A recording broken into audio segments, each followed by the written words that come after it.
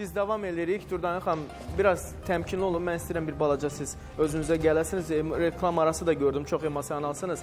E, mən bir şey deyim, əslində idmanla məşğul olan e, uşaqlar saf olurlar. İdmançı insanların 99%-i belədir. Sırf idmanla məşğul olan insanların ürəkləri çox saf olur, çox təmiz olur. Yəni ona adam ataların bir sözü var deyir, sağlam bədəndə sağlam ruh olar, ruhları sağlam olur. O hara fırlansa, hara dolansa, siz onun namususunuz. Siz onun qeyrətisiniz.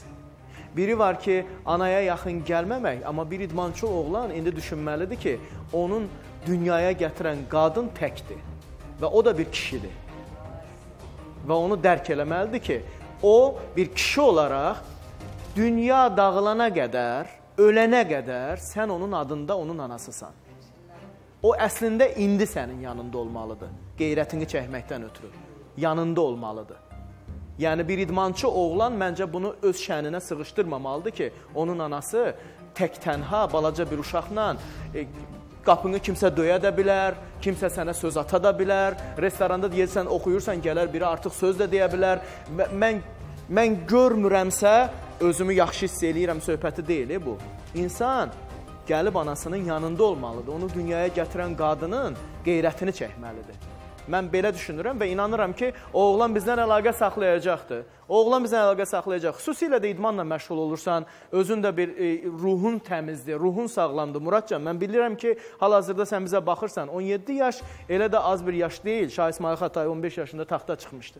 Yəni 17 yaş az bir yaş deyil. Yəni siz e, sən artıq bilirsən ki, bu həyatda qeyrət çəkmək nədir, namus çəkmək nədir, adamı dünyaya gətirən qadının tənha yaşaması nə deməkdir? Səni dünyaya gətirən bir qadın var, o sənin üçün mübarizə aparır, ağlayır, sızlayır və bir tərəfdən də sən onu buraxmısan tək başına. Sən kişisən. Yəni, Yox, sən kişisən. Da. Sən bu qeyrəti bugün çəkməlisən. Bu sənin adındır. O qadının sabah başına başqa bir işlər də gələ bilər. Tək qadındır.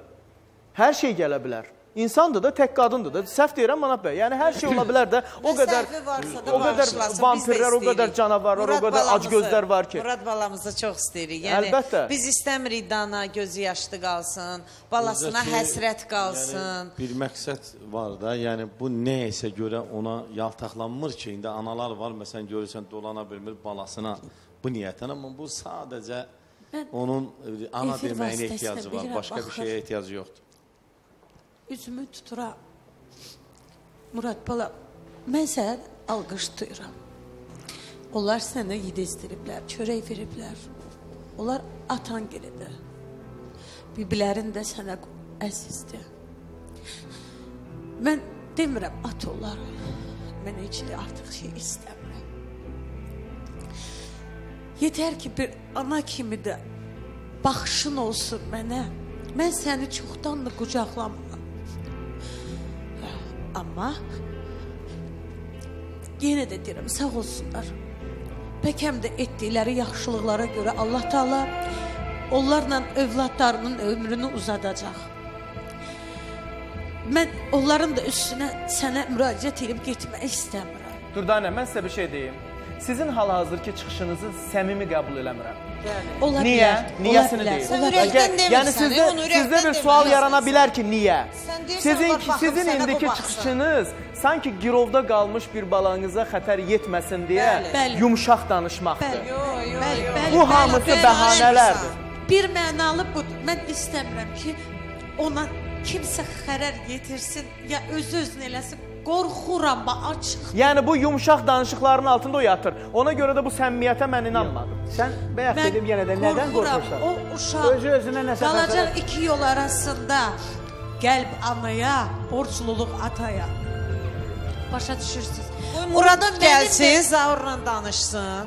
Mənim- Təklikdə siz. Olar. Yəni bunlar O danışsın. uşaqda mənim də qanım var. Ay sağ ol. Bayaqdan görürsüz bibisi danışdı. Yenə deyirəm Allah canların sağ eləsin. Bəzən mehriban düşmən olur. çəkmir bax Bir söz deyə görə. Nə deyə bilərəm? Deyirəm Allah canınızı sağ eləsin. Aydındır. Biraz toparlanın siz. Biraz toparlanın. Özünüzə gəlin. Mən bu arada ə, Övlad bağışlamalıdır. Bu Necə həzrət- ki övladın bütün Əz- nöqsanlarını bəli, ana Baxın, bağışlayır. burada əsas, əs- ən kulminasiya nöqtəyə toxundunuz. Nəyə? Bəli. Mükafat bəy. Baxın, biz övladımız artıq hərəkət eləyir, deyirik ki, balamızdır, bağışlamalıyıq. Səhv eləyir, bağışlayırıq. Gedir narkotikaya qurşanır, düşürük ardınca sürünürük, zülüm çəkirik, o vəziyyətdən çıxardırıq. Ondan sonra doğru yolun yolçusu olmur, yenə dözürük ki, balamdır, ata bilmərəm. Həbsxanaya düşür, qapısına gedir, gəlir, zülüm çəkir ki, anadır. Kim imtina eləsə də ana balasından, ata balasından imtina eləmir. Əsl atalardan və Bəli, analardan bəli, bəli. söhbət gedir. Bəs bir ananın deyək ki, bir yanlışı olubdu. 17 yaşında atasını itirmiş, anasını itirmiş, kimsəsiz böyümüş bir qadının lap deyək ki, Elmira xanım düz deyir. İçib, nə olub? Yəni ağıl hər adam adekvat reaksiyalar vermir ki, hər adamın bir reaksiyası var. Bəlkə özünü unutmaqdan ötürü içib, ürəklənib gedib o qapıya. Bəlkə düşünüb ki, ağlı ora qədər kəsib ki, bəlkə mən içib getsəm daha cəsarətli olaram deyibdi. Bəlkə doğrudan da kimsə onu başqa bir yollara çəkməyə çalışıbdı.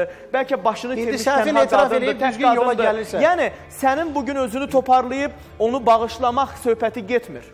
Sənə bu ixtiyar verilməyib ki, bağışlayasan. Sənə o ixtiyar verilir ki, hələ sən o səlahiyyətin sahibi deyilsən ki, sənə ixtiyar verilsin ki, sən bağışlayasan. Övladın valideyni bağışlamaq yox, valideyni anlamaq ixtiyarı var. Bağışlamaq ixtiyarı hələ sənə verilməyib.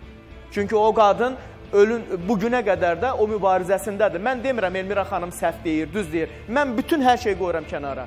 Elmira xanım da lap haqlıdır, Dürdanə də haqlıdır. Burada onları qoyuram kənara. Bu gün sənin 17 yaşın var. Sən sərbəst kişisən və sən sərbəst qərar verməlisən. Verə bilər, verə bilərsən də. Sən sadəcə olaraq qarşı-qarşıya oturub dinləməlisən ananı.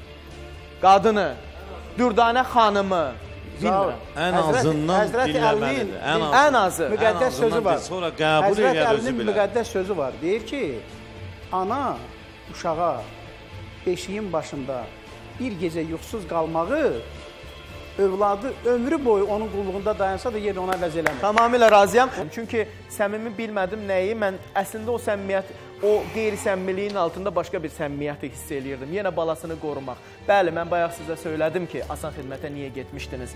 Bəli, bu da yenə də bəlkə, bəlkə bu kömək eləyər yumşalmağa.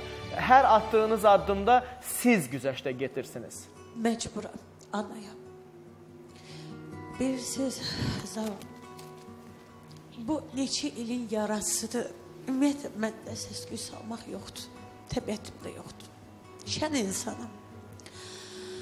Amma hamımızın bir övladımıza yanaşma sistemi var. Mən o uşağı yenə də qorxa, qorxa, qorxa, qorxa zaman zaman istəyirəm anlasın. Nədən qorxuram? Mən bildirəm. Artıq bu uşaq yetmədi. BBC bildirir ki, mənə yazdığını bu BBC-nə deyib. Demək belə çıxır ki, Instagramda mənə yazır ki, heç kəs bilməsin, bu bizim sirrimiz qalsın. Bibi bilir. Sən də açma da onu. Yo, yo. Yox, Bibi yox, o nəyi demək istəyir? Yox. Yəni demək istəyir ki, Bibi Yəni- özü söylədi ki, o səndən danışıb Yəni axı. demək bu bibi bibi ya, dediyini yazırdı uşaq. Belə çıxır da. Yox, e, Məzura xanım anlamadınız nə deyirəm? Deməli, oğlu bundan yazışır, Dürdana xanımla yazışır və deyir ki, e, bilməsin Bil- heç bilməsin kəs. heç- Amma indi bibi telefonda deyir ki, mən bilirəm ki, sən yazışmısan. Deməli, oğlu da Bir də bilir. deməsin də, buradan Yo, dana deməsin, onu yəni açmasın. Məncə, məncə artıq maskalanmağın nə isə deməyimin yeri yoxdur. Yəni, Yox, məncə uşaq- içini özü kimi göstərməlidir Dürdana. Yox, mən elə necə varam eləyəm. Yox, mən onu demirəm. Deyir ki, filan şeyi demə. Mən ona görə deyirəm ki, qoy axı nəyi dedi, varsa içində desin. dedi bunu. Mən bu nə sir oldu ana bala arası. Aydındır. Qarşıda xəbərlərimiz var. Xəbərlərdən həmən sonra burdayıq. Murad, toparla özünü zəng elə. Sən yaxşı olansan.